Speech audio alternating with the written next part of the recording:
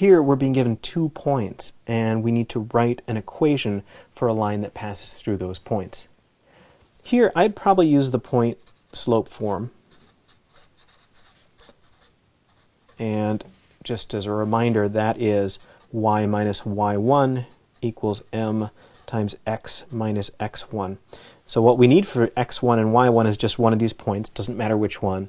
And then we also need the slope for m. So I think I'm going to calculate the slope first. Slope is rise over run.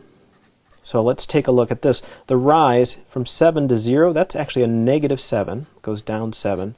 And our run from negative 5 to 2, oh, that's a positive 7.